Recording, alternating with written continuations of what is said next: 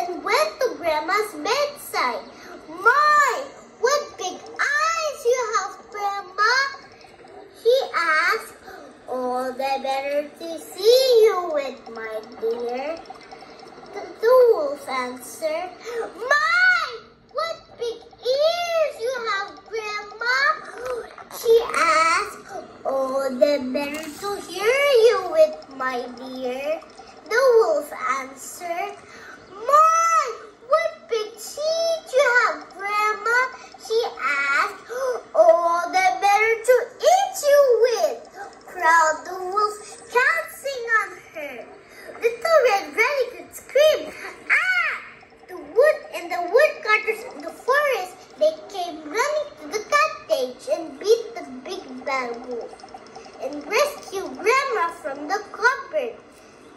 Grandma hugged Little Red Riding Hood with joy. The wolf ran away and never to be seen again. The end. You.